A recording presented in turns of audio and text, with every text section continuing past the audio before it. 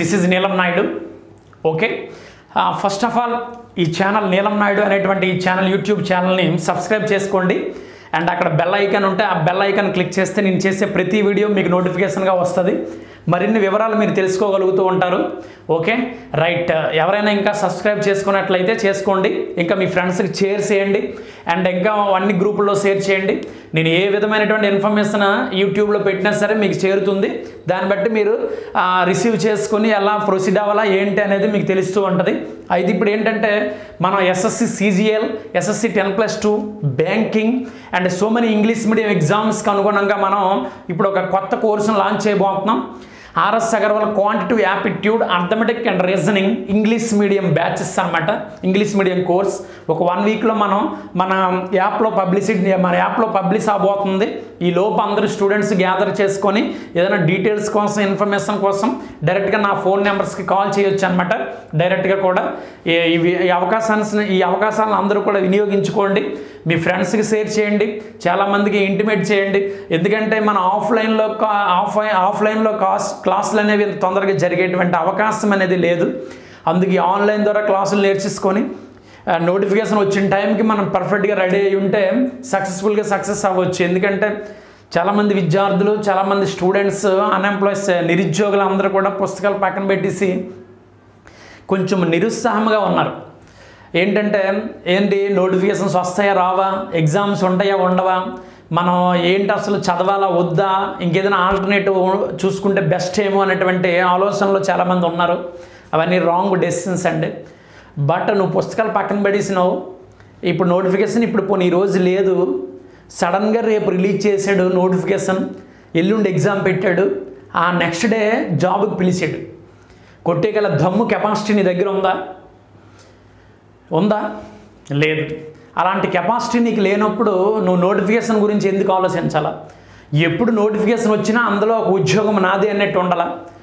ఆ మైండ్ సెట్తో మనం చదివి ఉండాలి. ఆల్మోస్ట్ అన్నీ చదివేసి వెయ్యి ఉద్యోగాలు పడ్డాయి. వెయ్యి ఉద్యోగాలు పడితే తొమ్మిది వందల తొంభై తొమ్మిది ఉద్యోగాలే ఉన్నాయి అని జనాలకు చెప్పాలా? ఆ ఒక ఉద్యోగం నాది అని ముందుకు మనం చెప్పగలగాల. అంటే అలా చెప్పగలిగామంటే అటు మనం అంత కాన్ఫిడెన్స్గా అంత నమ్మకంగా చదివిన రోజే మనం చేయగలం అనమాట ఫస్ట్ ఆఫ్ ఆల్ అంత కాన్ఫిడెన్స్గా నువ్వు ఉన్నావా? అంత కాన్ఫిడెన్స్గా లేనప్పుడు నోటిఫికేషన్స్ గురించి జాబ్స్ గురించి ఆలోచించాల్సిన అవసరం నీకేంటి? ఏందో ఒక నోటిఫికేషన్ ఈ రోజు పడింది రెండు మూడు నెలల్లో చదివిస్తే ఉద్యోగం వచ్చేసినటువంటి రోజులు పోయినాయి. మినిమం వన్ ఇయర్ ఒక సిక్స్ మంత్స్ గట్టిగా చదివితేనే మనం సక్సెస్ఫుల్గా సక్సెస్ అవ్వచ్చు ఆ ఎగ్జామ్స్లో అందుకే ఏంటంటే ఈ టైంని వినియోగించుకొని ఉపయోగించుకోండి నమ్మకం ఉండాల. ఒక నోటిఫికేషన్ రాబోతుంది అంటే అందులో ఒక ఉద్యోగం నాది అన్నటువంటి ఒక నమ్మకంతో మనం చదవడం రావాలి. ఆ మైండ్ సెట్ మనకు అలవాటు అవ్వాలి ఆ స్పీడప్ మనకు అలవాటు అవ్వాలి. ఇప్పుడు రెండు వేల పదమూడో సంవత్సరం అనుకుంటా మన ఆంధ్రప్రదేశ్కి చెందినటువంటి వ్యక్తి ఇంటర్మీడియట్ అయిపోయింది. ఇంటర్మీడియట్ అయిపోయిన తర్వాత ఐఐటి ఎగ్జామ్ రాస్తారు. ఆల్ ఇండియా మొత్తం రాస్తారు ఎగ్జామ్ ఆల్ ఇండియా మొత్తం. భారతదేశం మొత్తం ఎగ్జామ్ రాస్తారు. అక్కడ విజయవాడ అనుకుంటా. విజయవాడ శ్రీ చైతన్య మెయిన్ బ్రాంచ్లో చాలా మంది స్టూడెంట్స్ చదువుకుంటున్నారు. నైట్ నైన్ థర్టీ అయ్యింది. కొన్ని వేల చైర్లలో కూర్చొని స్టడీ చైర్లో కూర్చొని వేల మంది స్టూడెంట్స్ చదువుకుంటూ ఉన్నారు. అలా చదువుకుంటే ఏంటంటే రేపు ఎగ్జామ్ ఆల్ ఇండియా మొత్తం రాస్తారు ఎగ్జాము.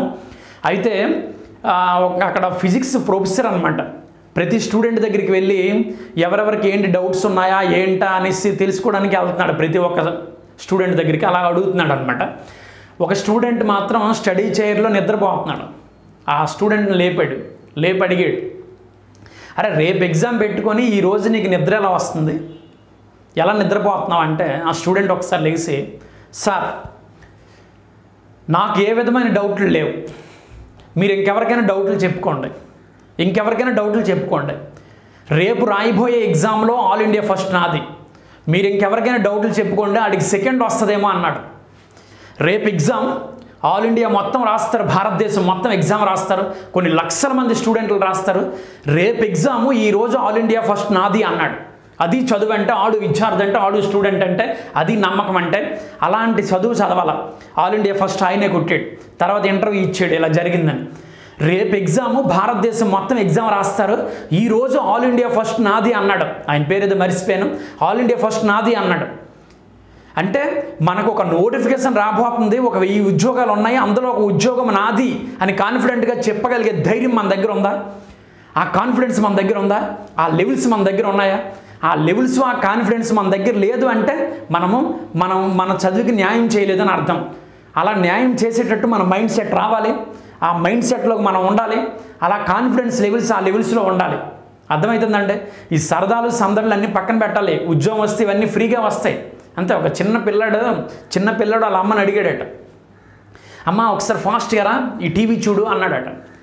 ఏంటి నా కొడుకు ఎంత తొందరగా పిలుతున్నాడు ఏంటి అనేసి సంతోషంతో వచ్చి టీవీ చూసింది. అందులో ఏదో యాడ్ చెప్తున్నాడు అనమాట ఏదో డ్రింక్ గురించి యాడ్ ఇస్తున్నాడు ఆ టీవీలో.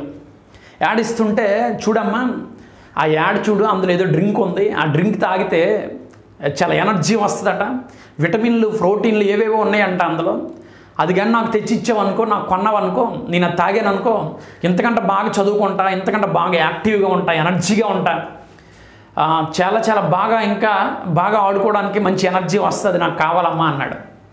వెంటనే వాళ్ళ మదర్ ఏంటి నా కొడుక్కి ఇన్ని తెలివితేటలు ఉన్నాయి? ఏంటి ఎంత బాగా ఆలోచిస్తున్నాడు? అనేసి వెంటనే మార్కెట్కి వెళ్ళి ఆ డ్రింక్ కొన్ని తీసుకొచ్చింది అనమాట పిల్లడు ఆడుకుంటున్నాడు. ఆవిడ ఆ చేతిలో ఉన్న డ్రింక్ చూపించి బాబు చూడు నీకోసం ఏం తెచ్చాను చూడు అనగానే ఆవిడ ఎంత హ్యాపీగా వచ్చి వాళ్ళ అమ్మ దగ్గర ఉన్నటువంటి ఆ చేతిలో ఉన్న డ్రింక్ తీసుకొని అది కిందన పెట్టి ఆ కవర్ అలా కిందన పెట్టి అందులో ఉన్న డ్రింక్ తీసి పక్కన పెట్టి ఇంకేదో వెతుకుతున్నాడట. ఇంకేదో వెతుకుతున్నాడు. తల్లికి అర్థం అవ్వాల. ఏంటి? ఏదో ఎనర్జీ అన్నాడు ఇది అన్నాడు అది అన్నాడు. అది ఆ డ్రింక్ పక్కన ఎట్టి ఇంకేం వెలుగుతున్నాడా అని చూశాడు చూశాడు చూశాడు. అందులో ఒక టెన్నిస్ బాల్ ఉందన్నమాట. అది పట్టుకొని వెళ్ళిపోతున్నాడు. అది పట్టుకొని వెళ్ళిపోయి ఆడుకుంటున్నాడు. ఈ డ్రింక్ పక్కన పెట్టేశాడు. ఏంటి అసలు ఏంటి? మదర్కి అర్థం అవ్వాలి. ఈ డ్రింక్ తెమ్మని ఇంత బాగా చెప్పి మళ్ళీ ఆ డ్రింక్ వదిలేసి టెన్నిస్ బాల్ పట్టుకొని వెళ్ళిపోయి ఆడుకుంటున్నాడు ఏంటని మళ్ళీ టీవీ చూసింది. ఆ యాడ్ వచ్చింది అనమాట ఆ యాడ్. ఆ యాడ్లో చెప్పాడు ఆ డ్రింక్ కొంటే టెన్నిస్ బాల్ ఫ్రీ అందుకు ఆడు ఆ డ్రింక్ కొనమన్నాడు. నిజానికి ఆ టెన్నిస్ బాల్ ఫ్రీగా వచ్చిన ఫ్రీగా వచ్చినటువంటి వస్తువు అనమాట అది. అతని దగ్గరే ఉంటుంది ఎటు వెళ్ళిపోదు. నిజానికి ఎనర్జీ ఉన్నటువంటి డ్రింక్ అనమాట ఇది.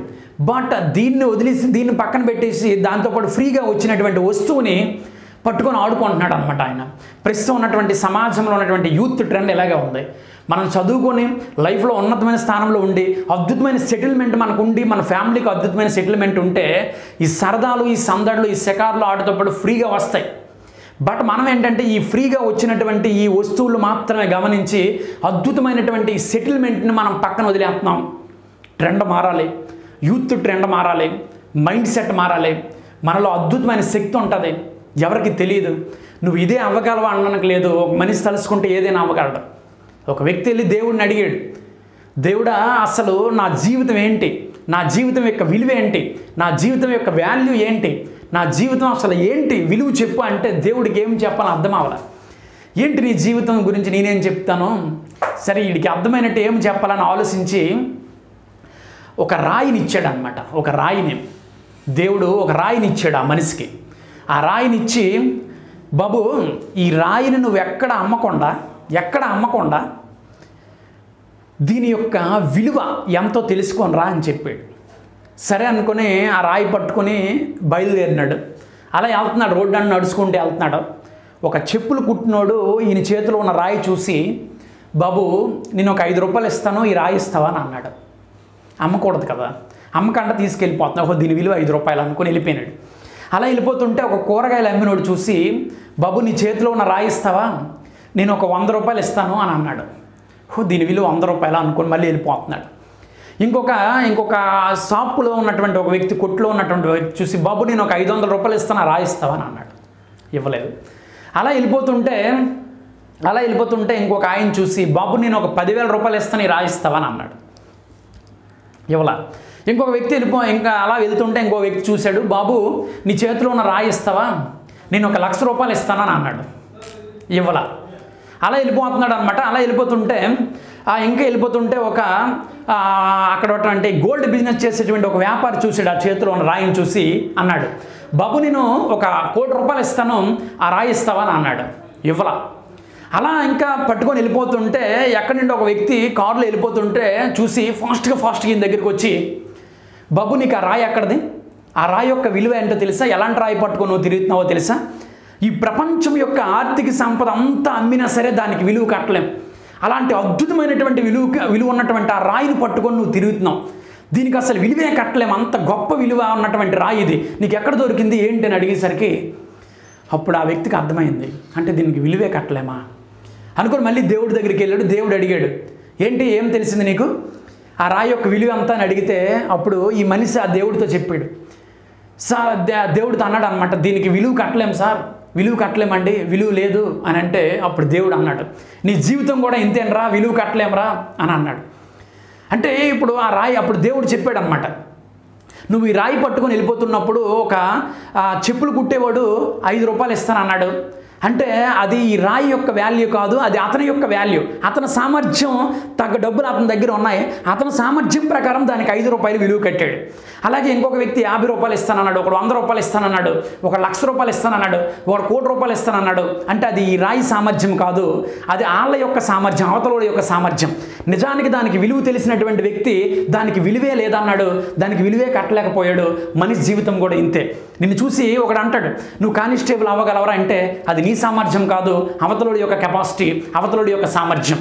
ఇంకోటి నిన్ను చూసి నువ్వు ఈ పని చేయగలవు ఈ పని చేయలేవు అంటే అది నీ సామర్థ్యం కాదు అవతలోడి యొక్క సామర్థ్యం. నిజానికి ఒక మనిషి అనేవాడు ఏదైనా సాధించగలడు ఏదైనా చేయగలడు. ఒక మనిషి యొక్క జీవితానికి అంతే లేదు అంత గొప్ప విలువ ఉన్నటువంటి జీవితం అన్నమాట మనది. దాన్ని ఇలా వృధా చేయకూడదు వేస్ట్ చేయకూడదు.